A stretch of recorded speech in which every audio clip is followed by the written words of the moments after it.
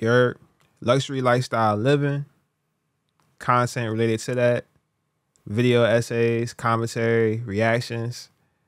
This video we're reacting to a video essay on the history of Bape and giving our commentary. Videos by thread, Threaducation, thread, Threaducation. Yeah, let's get into it.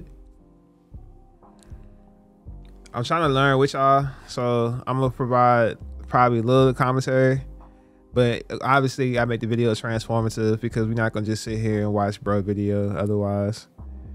Tomoaki Nagao was born in Maebashi, That's not how Japan YouTube on work. December 23rd of 1970. Nigo, Now, if that name doesn't sound familiar, Going ape it's because like Nagao Nigo. would later become known as Nigo. But we'll talk about how he got that name in just a bit. Nigo grew up in a working class family with both of his parents working an exorbitant amount of hours, leaving him at home to entertain himself with toys and movies. And while this might make him sound Most a bit like- lonesome, I can assure you that like this any- period of time was crucial kid. to his development. Keep in mind that this was around the time that American movies like Star Wars were taking over the globe, and as a child, Nigo fell head over heels for American entertainment. In fact, at the age of six, he started collecting toys and figurines from his favorite movies, Nah, that's with his first piece being a Donald Duck plush toy. Little did he know it at the time, but this was it seemed like Japanese children gravitate towards American shows and toys and stuff, and vice versa.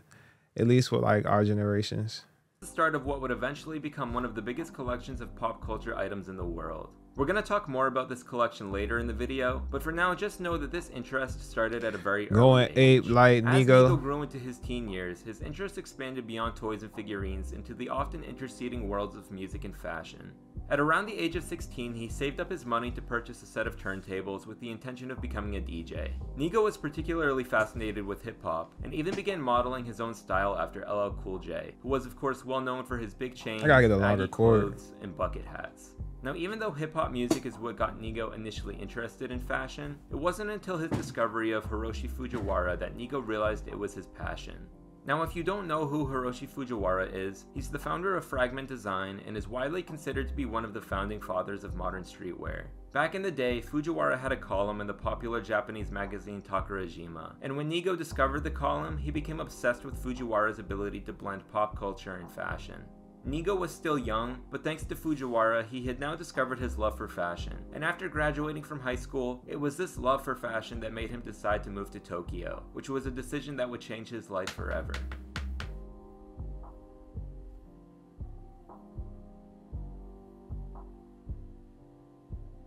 Upon arriving in Tokyo, Nigo enrolled in the Bunka Fashion College, which is widely regarded as one of the top fashion schools in the world. Moving to Tokyo was undoubtedly a change of pace from the mountainside city he had grown up in, but it turns out Nigo felt right at home in this new environment.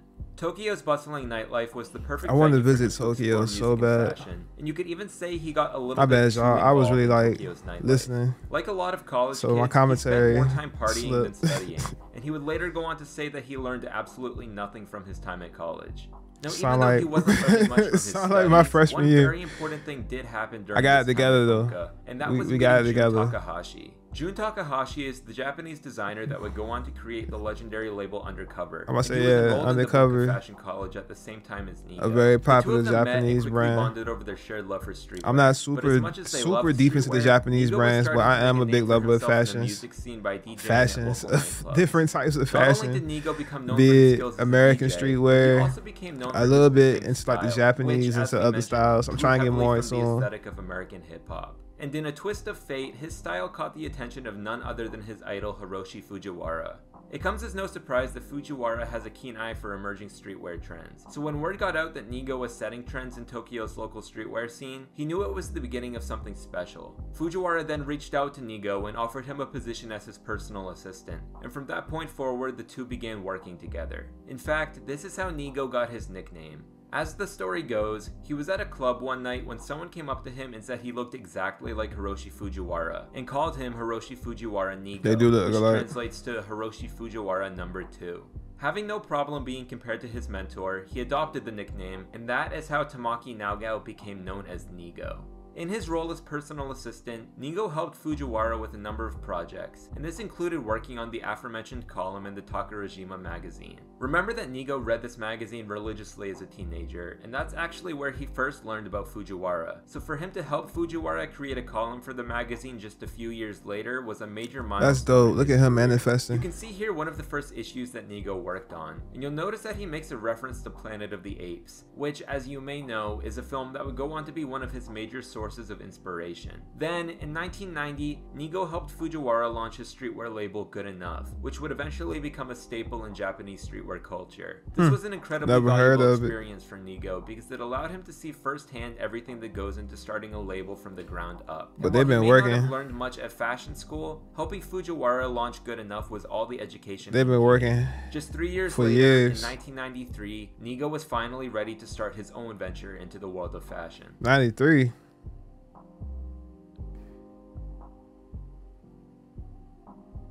Nowhere. Nowhere. On April 1st of 1993, Nigo and Jun Takahashi opened a fashion boutique called Nowhere, named after the song Nowhere Man by the Beatles. By this point, Hiroshi Fujiwara's Good Enough was a resounding success, and Nigo and Takahashi were both looking for something new to work on. So Fujiwara encouraged them to open their own boutique where they could sell Good Enough, as well as a curation of other popular streetwear brands. They settled on opening the store in Ura Harajuku. That's At the time, dream. the Ura Harajuku area was a collection of small boutiques in the back streets of Tokyo's Harajuku district.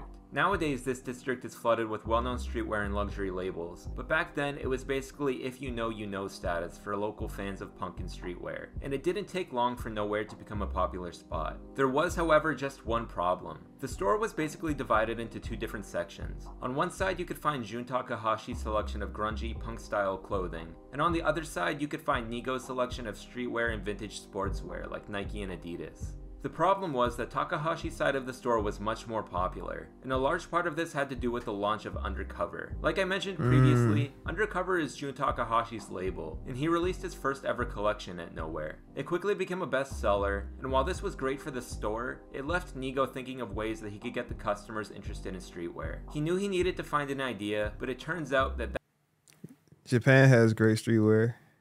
I'm I'm really caught up in this joint right now. Like this is a great, great documentary. that idea was about to find him. So I'm just letting it play. The commentary can be better.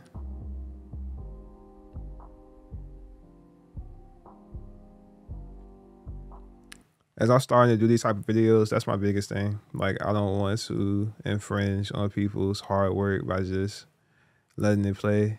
Like I gotta offer some type of value as I'm watching this. One, so that y'all, you know, want to rock with me and watch these joints with me. And two, just respect to the creator, for real, for real. But now we get into Bape and eight. In addition to Nigo and Jun Takahashi, Hiroshi Fujiwara had a third prodigy under his wing, and that third prodigy's name was Shinichiro Nakamura, better known as Skate Thing. Skate Thing was arguably the most in-demand graphic Skate designer Thing. from this era of Japanese streetwear, and nowadays he's the co-founder and owner of streetwear brand Cav Empt. But none of this would have happened if it weren't for Hiroshi Fujiwara. Nah, Much like what happened with Nigo, Fujiwara met Skate Thing through the local streetwear scene and instantly saw something special in his style. Fujiwara then introduced him to his first Apple computer. That's why they always say it's about who you know. Design software, and the rest is Networking history. can definitely From help you build. forward, Skate Thing started working on projects with Fujiwara, and this meant he was now also spending more time with Nigo and Jun. Especially that back being then. said, Skate Thing was well aware of the problem that Nigo was dealing with at the store, and one night, by complete chance, he found the answer to that problem. What was Skate Thing that? shared Nigo's love for American entertainment, and on this night, he decided to sit down and have a five-hour marathon of the Planet of the Apes movies. As Okay, done, so- to Nigo to let him know that he had found That's like any great artist. You draw inspiration from what you see. of the Apes. Now, if you didn't have the benefit of hindsight here, you might think that basing your whole brand around a single movie franchise isn't the best idea. But that's not the way Nah, that joint work for them. Remember that Nigo had grown up obsessed with American entertainment, including movie franchises like this one. So for him, this was an opportunity to combine his love for fashion Hey. with his love for pop culture. They So hit on Nigo one, decided too. to go forward with the idea and settled on the name A Bathing Ape. The name is an obvious reference to the film, but it's also a reference to the Japanese expression, a bathing ape in lukewarm water, which is basically used to refer to young people who live relaxed, lavish lifestyles. Even though the full name of the brand Since is technically a 93. bathing ape, this was then abbreviated to just Bape, which is what it is most commonly referred to as today. So once they got the name down, See, I don't even wear Bape like that. Skills to work and So I won't even hit. It's been going on since 93. Look at that. logo. Nigo printed the logo on some shirts, put them up in the store, and for the first time ever, Bape was made available to the world.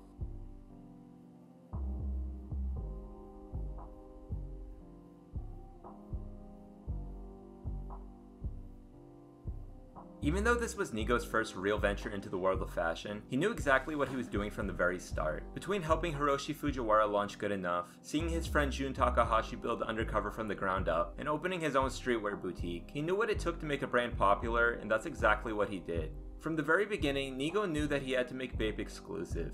He only sold it at his store, he only produced a limited amount, and he charged fairly high prices. That way, even though the brand was still new, it gave people the impression that Bape was a higher end brand. Before long, people started seeing the Everybody logo does that now. city. And just like Nigo had planned, they all started coming to the store to try to get their hands on his t-shirts. Around this time, Skate Thing also added Bape's signature camouflage pattern into the mix, and this quickly became a fan favorite. Now, Nigo wanted to keep Bape exclusive, but as you can probably imagine, he still wanted it to expand. So he didn't start mass producing t-shirts or anything like that, but he did So, start yeah, I'm gonna say, what's the solution to at a few that? other local boutiques. This helped build Bape's cult following in Japan, but how exactly did the brand make its way overseas? Well, interesting. So he didn't enough, saturate the brand, but he just happened if it expanded a little bit. Nigo's music career. Through DJing, Nigo met the English electronic musician James Lavelle, and Lavelle introduced him to American graffiti artist Stash. Stash happened to own a streetwear boutique in New York called Recon, and after connecting with Nigo, he became one of the first stores in America to carry Bape. So just like that, Bape had made its way to New York City, and it wasn't long before people started to take notice. As I'm sure most of you probably know, New York rapper Biggie Smalls was one of the hottest names in hip hop during the mid 90s. Not only was he known for his music, but he was also pretty well known for his style. Big chains, designer shades, Coogi, Versace, and then in 1994 he added Bape into the mix. You can see here Biggie wearing a camo Bape jacket in this 1994 photograph taken by the legendary photographer Shawn Mortensen. Now, according to some accounts, this jacket didn't actually belong to Biggie, and Mortensen just brought it to the photo shoot for him to wear. But whatever the case may be, this was the first time that Bape was introduced to the American rap scene. Meanwhile, back in Japan, That's the tough. brand was gaining momentum faster than Nigo could have ever expected. And while you might be thinking that's a good thing, he saw things differently. Remember that when Nigo started Bape, he wanted it to be exclusive. But by 1998, things had gotten a little bit out of control, and the brand was being sold at more than 40 different retailers in Japan. So in 1999, making what was undoubtedly a very risky decision, Nigo pulled Bape off the shelves at every single one of these retailers and opened the first ever flagship Bape store in Hong Kong. This easily could have backfired and halted the brand's momentum, but instead it did just the opposite. From that point forward, if you wanted Bape, there was only one place to get it, and that's where everyone went. I also want to quickly mention that around this time, Nigo had also started hosting the Worldwide Apehead shows, which were later renamed Worldwide Bapehead shows. These were basically just music festivals that Nigo hosted for some of his favorite musicians and DJ friends, but they really helped develop Bape's cult following. By combining his passions for fashion and music to create the Bapehead shows, Nigo was communicating that he had more to offer than just a cool t-shirt. He really wanted to push Bape's association with the world of music, and I guess you could even say he really was wanted it doing to become a sort of lifestyle brand. So all of that being said, Bape was obviously on a hot streak, but looking back now, this was really just the beginning.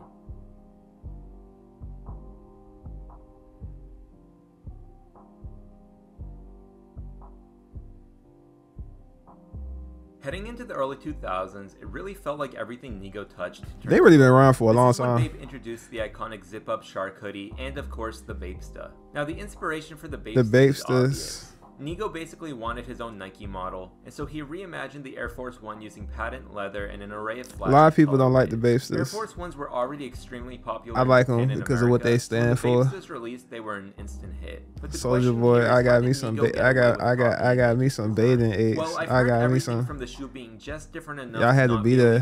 Copy. I've heard the patent on the Air Force One had expired. I've even heard that Nike owned a stake in Bape, which of course is not true. But whatever the truth is, all we really know is that Nike never. I a might be wrong, but didn't they come back Opened the door for the Bapes finally one of Bape's staple and sue? So Nigo started opening. New Nike went on the crazy sue- sue rant, like, last year. with major brands like Pepsi. But perhaps the single most important thing that happened in the early 2000s was meeting Pharrell. According to Pharrell, it all That's started really when took he the went brand to see over. The Jeweler, who, if you don't know, is an iconic jeweler in the world of rap music. Oh yeah, and there, Nigo was getting his Jacob pieces. Some guy in Japan was bringing him photos of Pharrell's chains and having him remake them in different colors. He didn't know it at the time, but this guy was of course Nigo. As we've discussed, Nigo really bases his personal style off of American hip hop, and he was such an avid fan of Pharrell that he wanted to wear the same chains he was wearing. After this, Pharrell didn't really give it too much thought, but fast forward a year and he's on a trip to Tokyo. While on the trip, Pharrell wanted to book some time at a studio, but he didn't have any local contacts and had trouble finding one. That was until Nigo found out through the grapevine that Pharrell was in the city and instantly reached out to offer him time at his personal studio. Pharrell accepted, but he had no idea what he was in for. Nigo's studio was actually just one part of a seven story building that he used to house his cars, collectibles, and of course racks and racks of Bape. It was upon seeing the building that Pharrell knew Nigo was special, and this was the beginning of their friendship. After Pharrell was done in the studio, the two of them went to dinner, and it was over the course of this dinner that Pharrell told Nigo he was actually thinking of starting his own streetwear brand, Billionaire Boys Club. Right away, Nigo offered to help him launch the brand. And before the night was even over, Skate Thing, who also designed the logo for Bape, had designed the now iconic Billionaire Boys Club logo. I'll Very iconic. That this partnership We love Billionaires Boys Club. Spin-off label ice cream as well. So once the trip was over, Pharrell was ready to head Have back some of that in my closet right now. Left, Nigo let him take as much Bape as he could carry. In poetic symbolism of the style revolution that was about to take place, Pharrell left all of his old clothes in Tokyo and flew back to America with a suitcase full of Bape.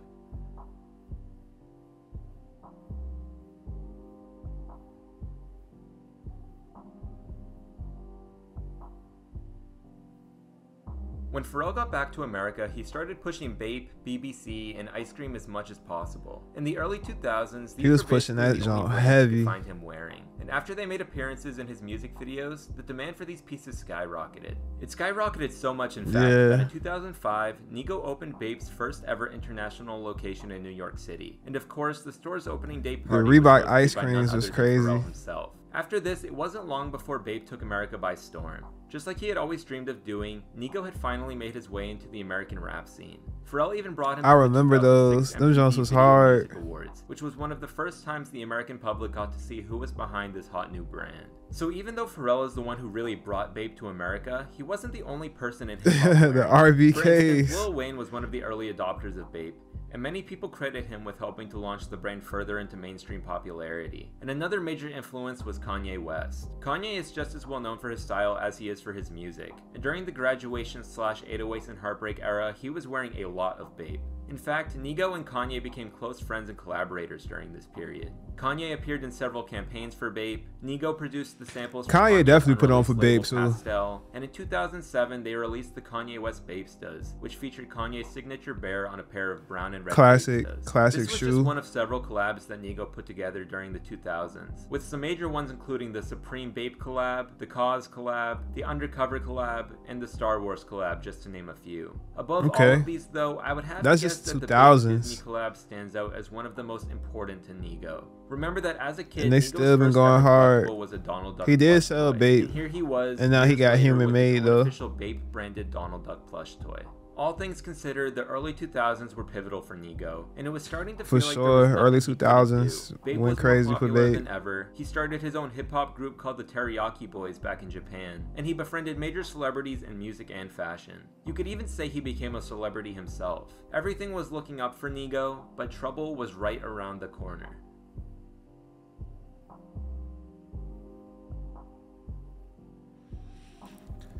What type of trouble he get into? I don't see that. Not Nigo. 2009, Nigo stepped down as the president and CEO of Bape. That's a big For the second change. time in the brand's history, it had expanded too quickly. On the surface, everything was fine, but in reality, Bape was losing money at a staggering rate and had accrued Yeah, nearly nah. $50 million. dollars Oh, I said that can't be yes, solid. Bape was more popular than ever, but Nigo had started opening new It's probably, like, semi-solid. and he even opened Yeah. Bape cafes, Bape hair salons, a Bape record label. To put it simply, Nigo's ambitions had led him to stray too far from Bape's core business model, and the brand as a whole was now in jeopardy. Having run out of options, Nigo sold a 90% stake in the company to the Hong Kong based IT group for less than $3 million. As part of the buyout, Nigo was contracted to remain the creative director of Bape for four years. And in 2013, when that contract expired, it wasn't renewed He got perms? Nigo officially left Bape for good. He went got This was in many permanent. ways a bittersweet Okay. Nigo. Even though Nigo was forced to leave Bape, there's no denying that he built what will go down as one of the most iconic streetwear brands in history. That being said, however, the general public noticed a pretty steep decline in the quality of designs after Nigo stepped away. And even when he was still on his four year contract, it was fairly evident that his heart just wasn't in it. And that might be because he was focusing all of his attention on his next great project. Human made.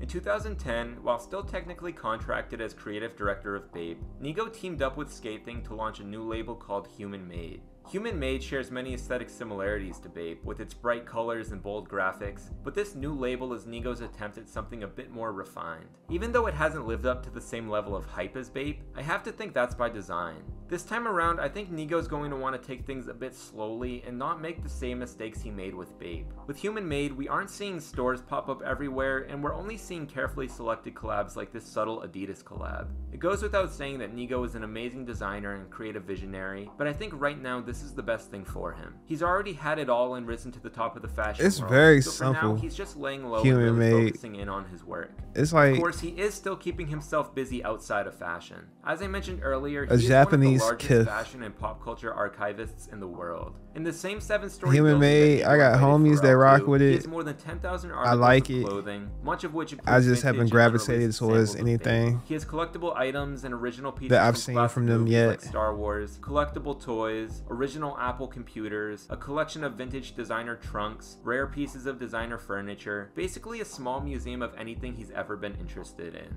And I think that this massive collection is a reflection of Nigo's obsessive nature, and I'm not saying that as a bad thing. I mean, just think about it. He didn't want to just watch movies, he wanted to own parts of it. He didn't want to just listen to hip hop, he wanted to dress like LL Cool J, own the same chains as Pharrell, and start his own hip hop group.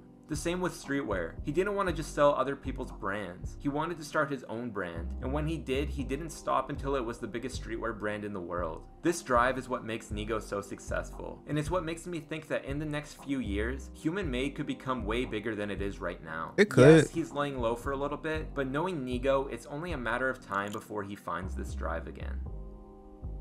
it could, but I think he wants to keep Human Made more of like a low key brand. But yeah, that was the history of Bape from Thread. Thread uh, I be fucking the name up. History of Bape from Threaducation. Appreciate y'all rocking with me. I got more histories and more stuff that I want to watch from this channel. So get in with me.